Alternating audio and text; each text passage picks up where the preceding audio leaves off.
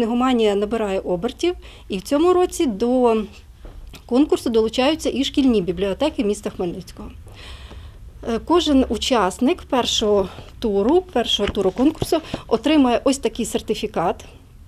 А переможець, який буде визначений в окремих бібліотеках, отримає сертифікат переможця цього конкурсу першого міського етапу, який буде визначений, буде мати такий титул суперчитач окремої бібліотеки. Там буде визначений суперчитач міста Хмельницького, який е, який і поїде, як переможець, поїде в винагорода така буде для нього. Це подорож до Львова на фестиваль дитячого читання, який відбудеться 17-19 травня цього року. Всі учасники будуть представляти себе на цьому конкурсі, і за умовами конкурсу е, є визначені журі, які можуть під час виступу дитини задавати будь-які питання, що стосуються прочитаного.